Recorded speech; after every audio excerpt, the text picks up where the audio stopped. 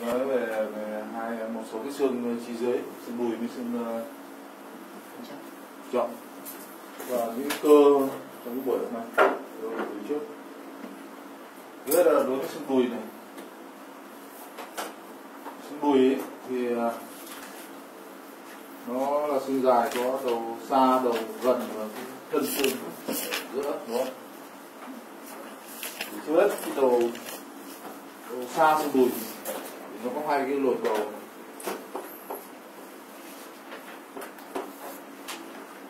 đây là lột của ngoài và lột của trong.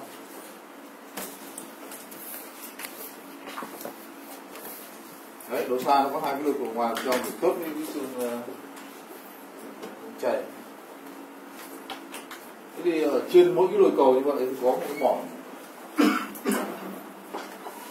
mỏm trên gì? Lồi cầu chúng tôi là mỏng trên lồi cầu trong. Mỏng trên lồi cầu ngoài.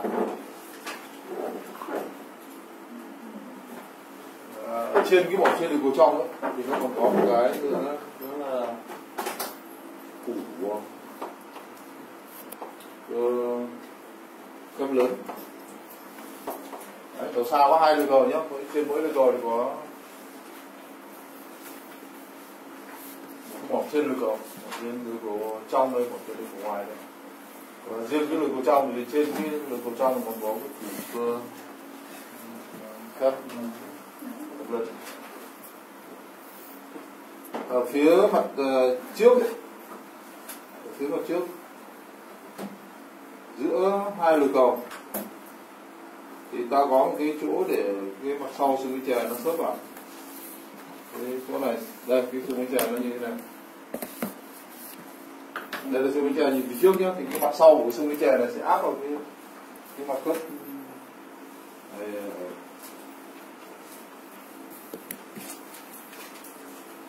mặt trước này giữa hai lưỡi đầu thì có cái, cái mặt tiêu khớp nó gọi là mặt bên chè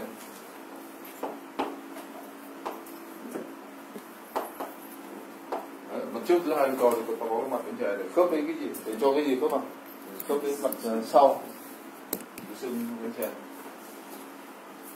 nếu mà mặt sau ấy đến lúc mà vẽ phía sau thì sẽ chỉ ra mặt sau thì ngăn cách hai cái lưỡi cầu. Đấy, có một cái hố rộng hố gian rồi gian được rồi đấy là đầu xa nhé tiến lên trên là thân xương ấy. Thân xương thì à, nó tròn thân xương nó tròn và giữa mặt uh, sau của thân xương ấy thì nổi lên một cái gờ nó gọi là đường ráp thân xương nói chung là tròn nhưng mà từ cái giữa mặt sau thì có cái đường à, ráp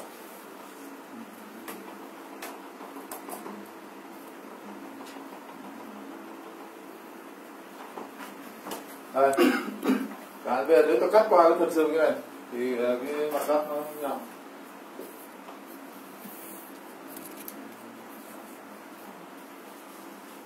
đấy nếu ta cắt qua phần xương thì ờ, mà cắt ờ, phần xương thì nó như này nó tròn này nhưng mà sau nó nhô lên một cái gọi là đường ờ, đường thì đường ráp là cả một cái vùng nhô lên ở phía mặt sau thì cái đường ráp ở trên trên đường ráp ấy, có một cái rãnh ở giữa. Cái rãnh ấy, xẻ cái đường ráp là thành hai hai cái hai cái màu. Có phải gì thành hai cái mép. Đó. đấy đường ráp thì bị cái rãnh ở giữa chia hai cái mép trong và ngoài. Thì rồi có giữa thân xương thì nó có hai cái mép đường ráp vậy nhưng mà khi tiến về phía đầu đầu, đầu xa đấy thì hai cái mép đường ráp nó thế nào? Nó, nó tách xa dần nhau ra để nó chạy về đâu đến hai đường cầu. Và cái phần tách ra của hai cái mép đường ráp ấy thì nó gọi là các đường trên lưỡi cầu. Dụ những cái phần tách vào trong đây nó gọi là đường trên lưỡi cầu gì trong tương tự như vậy là đây là đường trên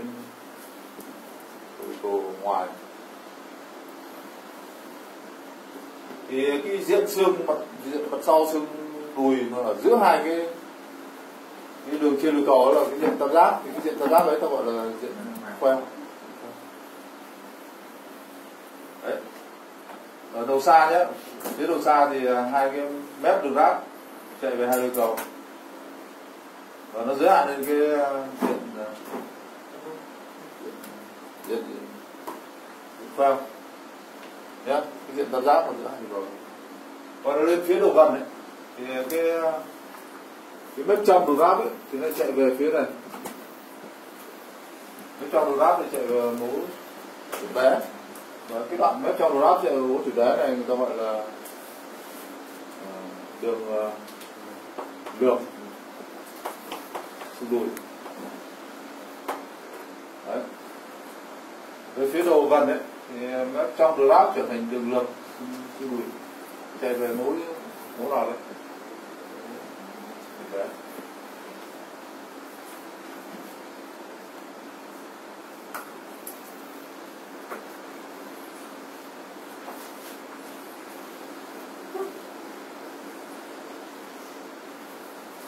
thế thì đấy là thân xương đấy đến đầu lui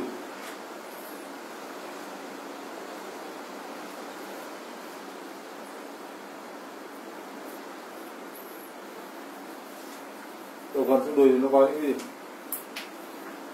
Đầu gần xương đùi thì à, sẽ có cái để khớp với xương trọ đây. Cái này lúc này là nằm trong ổ cuối nó khuất rồi đó là trỏ. Đúng không? Có trỏ để khớp với cuối trỏ lúc này ta nhìn nó khuất cái vành ổ cuối. Trỏ khớp với ổ cuối.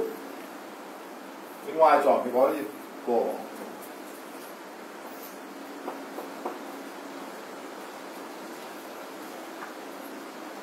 Đấy, đầu gần có chọn này có cổ này. Bên ngoài cổ thì có hai cái mố chuyển.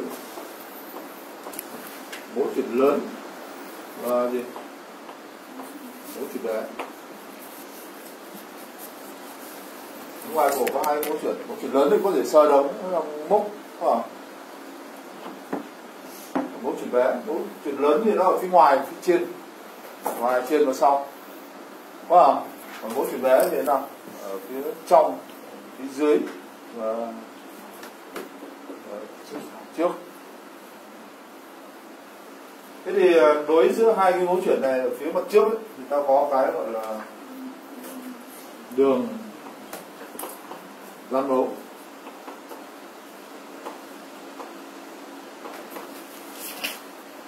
nối mặt trước ấy, nối hai mối chuyển có cái đường gian bố còn phía mặt sau ấy là màu gian bố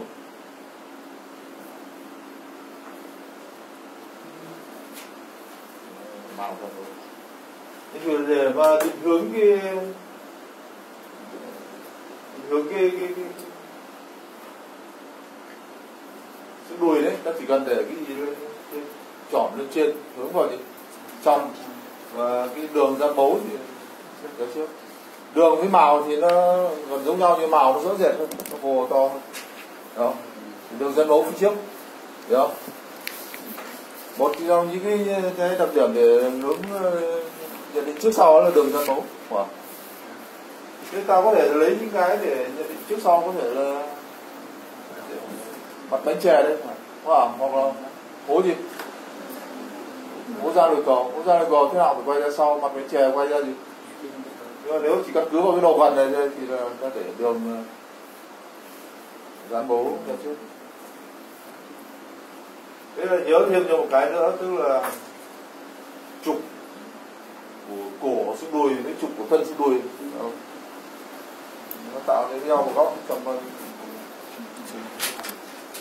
đấy nhớ cái góc ấy nhé góc. Trục góc giữa trục cổ với trục thân xương đùi là bao nhiêu? 130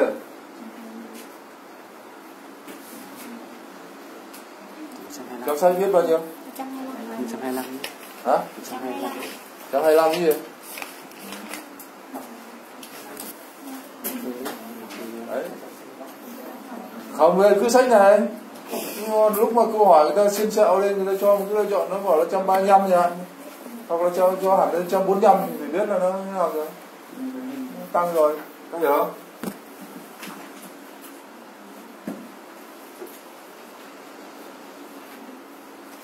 Thì đấy là xương đùi nhá. Đấy đến là xương xương ờ, trọng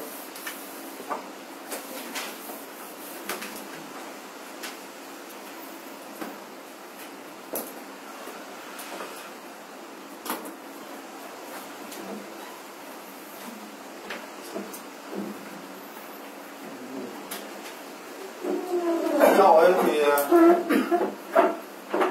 nó nó khởi nguồn từ mấy xương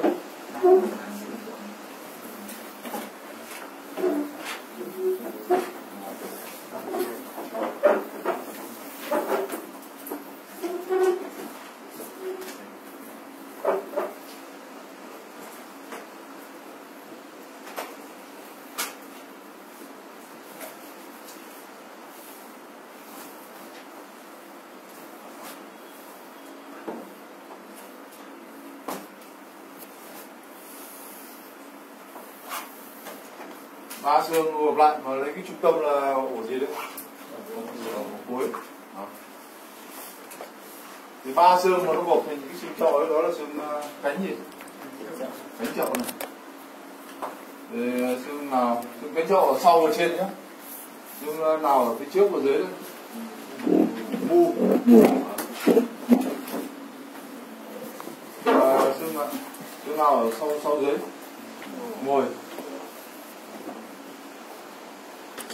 Nói chung tóm lại là xương mu nó ở trước xương cánh chậu ở sau và xương ngồi cũng ở sau nhưng cánh chậu ở sau trên và ngồi ở sau dưới và ba cái phần đó thì nó bao quanh một cái trung tâm đó là cái gì đấy ổ cuối bao quanh cái ổ cuối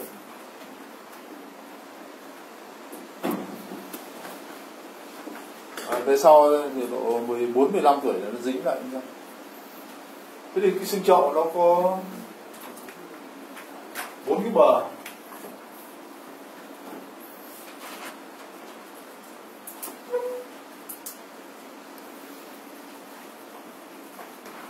cái xương chậu nói chung ấy, với- ba cái phần nó dính lại nhau thì nó có bốn cái bờ. Thì thứ nhất cái bờ trước của xương chậu ấy, từ trên xuống thì ta có những cái phần sau đây, đó là hai triệu trước trên tiếp đến là gì? Hai triệu trước dưới. Đầu tiên là hai triệu trước trên, sau đến hai triệu trước dưới. Sau đến một cái vùng à, nó chính là cái trần của cái ổ cuối này, nó nhô lên lồi chỗ mu.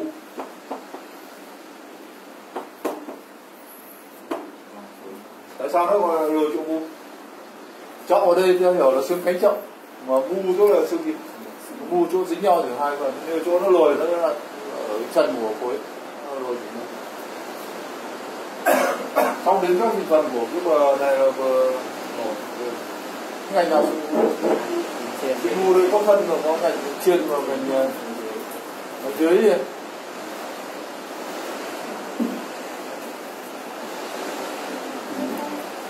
xong đấy là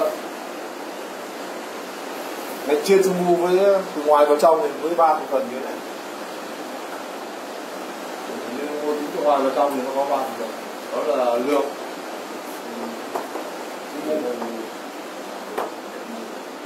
Lượng sương mù xong đến cái tiếp theo đây là củ mu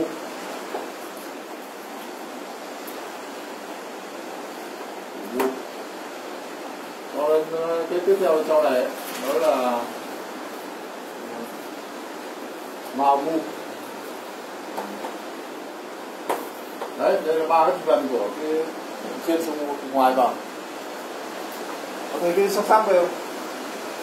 Ta gọi là lược xung gì đến củ mu rồi đến uh, màu mu. Hết màu mu là đến được giữa rồi tức là đến uh, khớp khớp mu.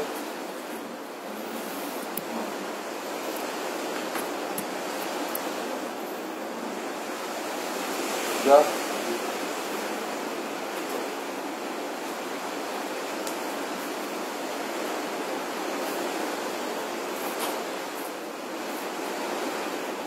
đấy là cái bờ bờ nào bờ trước. Đấy Từ ngoài vào nó có đây đến cái bờ này này. Bờ, bờ trước đây rồi. Đây là bờ trên. Bờ trên đây thì nó gọi là bờ trên nó gọi là bao trộn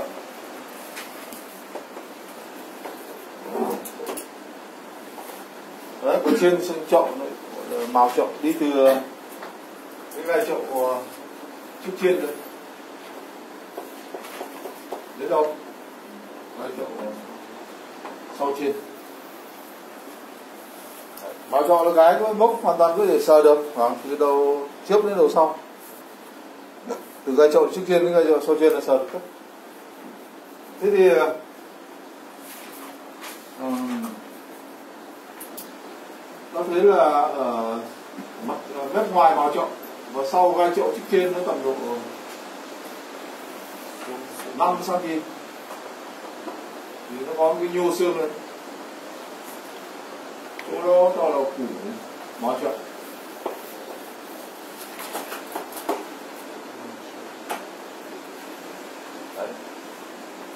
trên ờ, mặt ngoài máu trộn sau gai trộn trên 5 cm có nghĩa là khoảng cách từ cái củ vào trộn đến gai trộn sau trên thì xa hơn. Sang gai trộn trước kia thì có 5 cm đó thì có cái củ máu trộn tại sao tôi lại nhắc đến cái chi tiết này? Củ máu trộn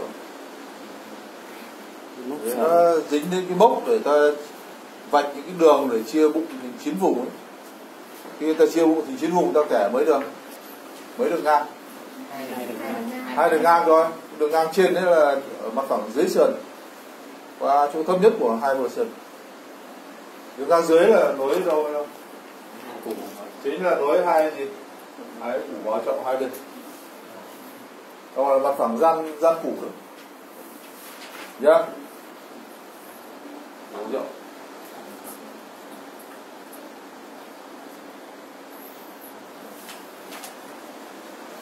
đây là màu chậm có cái không là bờ trên những bờ sau ấy, thì nó có cái gì?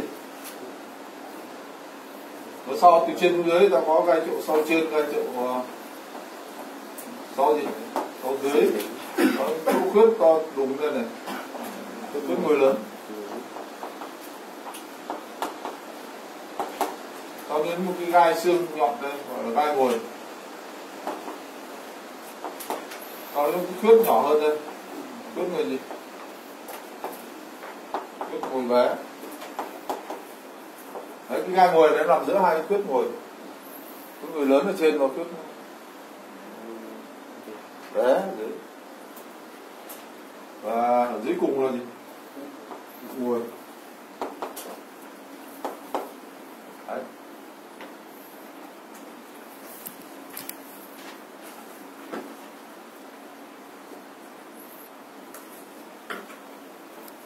Sau bờ sau có gai chỗ sâu trên, gai chỗ sâu dưới, phút ngồi lớn, gai ngồi, phút ngồi bé, rồi. còn cái bờ dưới đây thì do cái ngành dưới sưng mu kết hợp với ngành sưng ngồi nói chung là ngành ngồi ngành ngồi mu bờ dưới là ngành ngồi mu do cái ngành sưng ngồi nên dưới sưng mu kết hợp nhau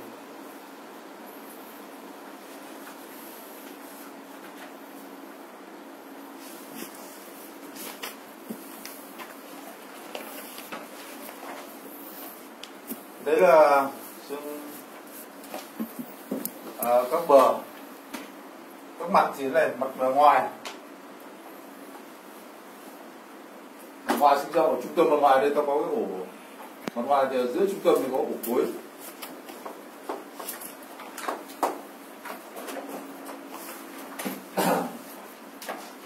Ngoài này ở trung tâm có cái ổ cuối. Cái ổ cuối này nếu phân tích ra ấy, thì bao quanh tất cả một cái ổ cuối thì có một cái vành xương.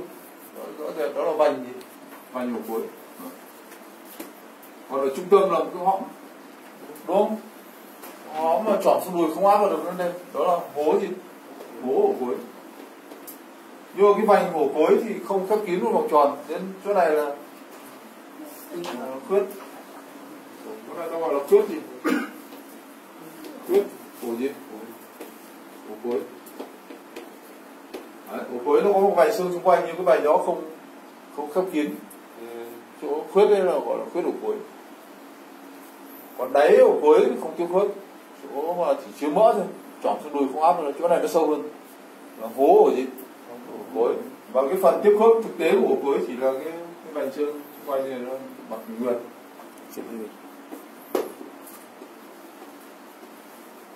đúng không mặt nguyệt là cái này. Tức là nó mình trong quyết ấy, để ờ, khớp với cái gì? Xương đỏ xương đùi đấy trung tâm bên ngoài cái ổ cuối trên ổ cuối là cái vùng để các cơ bông nó bám. Nó gọi là diện bông. Đúng không? Mặt bông. Diện bông. Còn ở bên dưới ổ cuối sẽ là cái lỗ. Nó, nó có màng. Nó đây lỗ gọi là lỗ bịt có những cái chi tiết này quan trọng. Được chưa còn ở mặt trong đây thì ta có cái này. Những đường g tạo nên phần lớn cái chiều dài của cái eo trên. Cái đường này tôi đường g rất rõ ràng đây tôi gọi là đường gì nhỉ? đường cu đường cu chi trọng đấy. Đấy, quan trọng nhất ở mặt ngoài là ổ cuối nhé. Ở mặt trong thì có đường gì? Đường cung thôi cũng uh, nhớ cái vị trí của ba cái phần xương so, so với cái gì? Của gì? Cuối. Cái xương cánh chậu là sau trên xương mu là trước. Trước dưới. Đó. còn ờ, xương ngồi là sau sau dưới. Nó dính với nhau ở quanh cái ổ cuối. Còn ờ, ba cái phần của ngành trên xương mu tính như ngoài và trong cái trật tự đúng của nó sẽ là lược xương mu so với củ cho đến bào lượm củ bào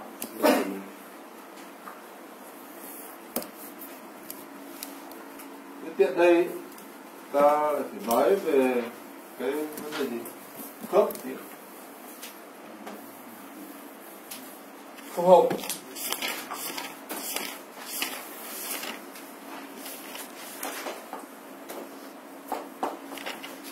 khớp hồng là khớp giữa xương trọng và xương đùi và hai xương hôm nay ta học? Khớp hồng tức là khớp trọng đùi đấy. Đó. Nó khớp hồng nó giống như khớp vai này, tức là loại hình là khớp trọn cầu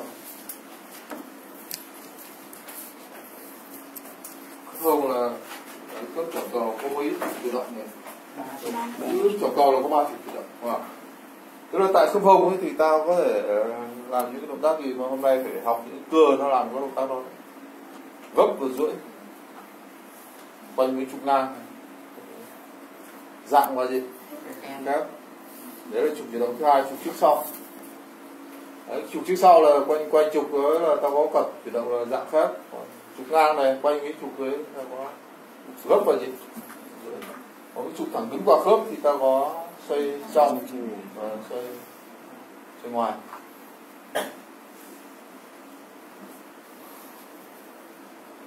Thì cái mặt khớp là gì? Mặt khớp chúng ta học cả rồi. Đấy, mặt khớp. Thì về phía sinh trọng đó là mặt nào của mỗi mặt nguyệt mặt nguyệt của cuối. Cộng với gì? Không về phía sinh trọng thì có mặt nguyệt ở cuối nhưng phải cộng thêm một cái cấu trúc nữa là sụn viền sụn viền ở cuối đúng không nhỉ? Đấy. Tức là ổ, ổ cuối này nó khác với ổ chảo xương vai thì nó sâu rồi nhưng mà mặc dù sâu nó vẫn thêm có cái sự viền để làm cho ổ cuối nó sâu thêm. Và cái mặt trong của sự viền là tham gia vào mặt khớp Đấy.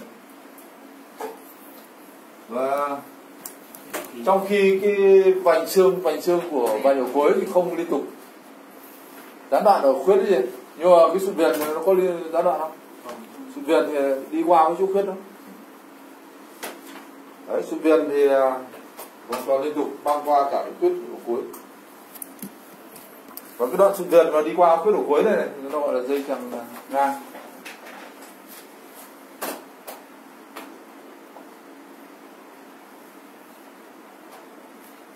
đấy là mặt khớp về phía chậu nhé. Thì nói tóm lại là về, về, về phía chậu nó chính là cái mặt oval lõm nhé còn mặt khớp về phía đùi chính là gì? Trỏm. Trỏm xương đùi. Hướng ờ, lên trên vào trong đấy. Mặt khớp về phía đùi là trỏm xương đùi đùi khớp.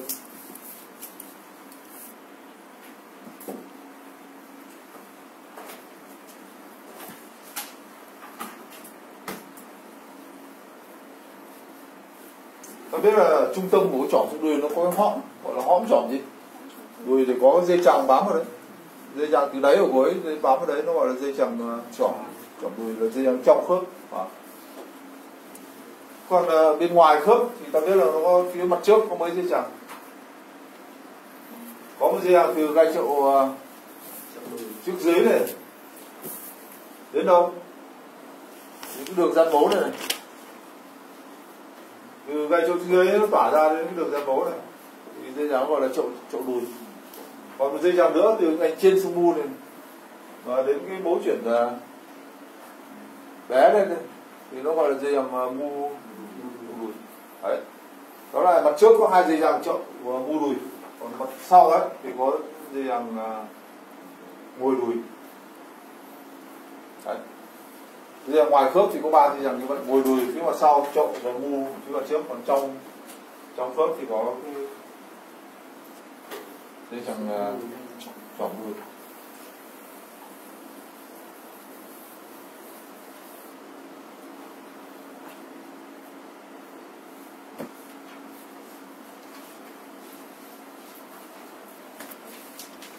những cái không quan trọng lắm. Cái quan trọng ở đây cần nhớ thêm một tí cái này tức là ta biết là bao cái khớp nào bao quanh là một cái lớp nó gọi là lớp nào của bao khớp nhỉ?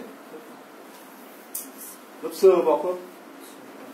Thì cái lớp sơ bao khớp ấy, thì à, về phía xương trong thì bao giờ nó bám vào quanh ở cuối rồi. Nhưng về phía xương đùi thì cái phía mặt trước phía mặt sau nó bám không giống nhau. Phía mặt trước thì bao giờ nó bám vút ra ngoài này đến đâu đường ra bố tức là ta xem cái đường dẫn bấu là giới hạn ngoài cùng của cổ kia. Nhưng mà phía mặt sau lại bám vào đâu? Lưng chừng cổ lưng chừng là chỗ nào? Khoảng chỗ đối hai phần ba trong và phần ba ngoài. Đấy nhớ cái cái bám của lớp sơ vào khớp phía mặt sau. Với phần ba ngoài. Với cái khúc phần ba ngoài với khúc hai phần ba trong của cái cổ cổ xương còn phía mặt trước thì bám lên đâu đến hết. Đến đầu ra mẫu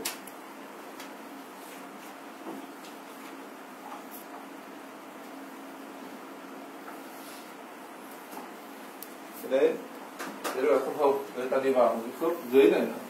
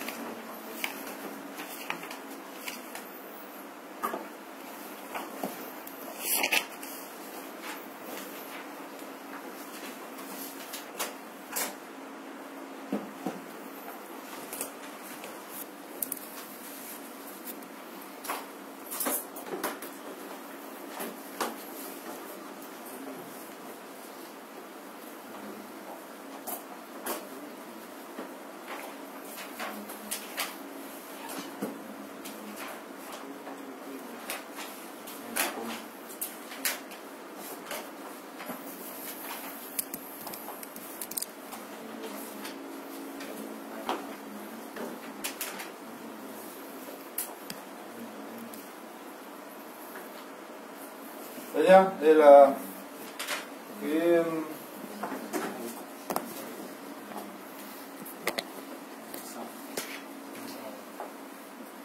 hai xương ờ, đùi vừa à, chảy vào mát nhưng mà đây là đôi xương bên phải và ta nhìn thế nào nhìn hơi ờ, trên và sau.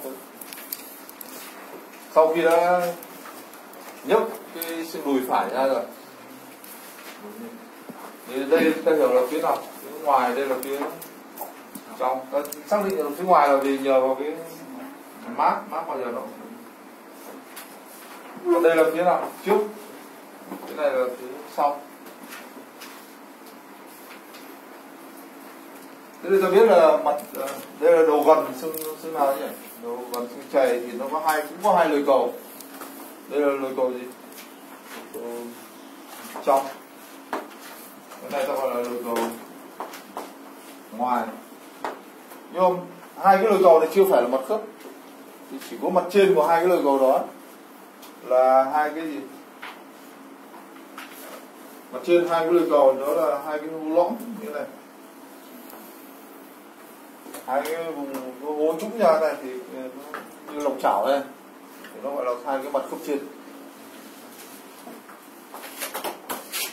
Đây là mặt khớp gì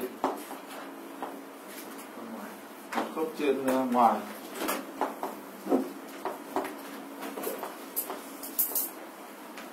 Còn đây là mặt khớp trên ờ, trong. Còn cách nhau giữa hai mặt khớp trên đây là một cái vùng có tiếp khớp không? Không. Vùng ấy vùng ấy nếu từ trước ra sau ấy, thì ta có lần lượt là đây là diện gian lồi cầu trước sau đến cái vùng này ta gọi là lồi gian lồi cầu sau đến đây là diện gian lồi cầu sau. Cái vùng giữa hai mặt khớp trên là tiếp khớp nhé. Tính từ trước ra sau thì ta có diện gian lồi cầu trước là dây chẳng nào mà nó chiếu trước quá. Diện ra lồi ra lồi cầu. Và cái mình nhìn thẳng đến là chỗ này nó nhô này Đó. chỗ này không phải là mặt khớp và đây là diện ra lồi cầu sau là dây chẳng chéo sau vào bây giờ ta đi vào khớp khớp gối.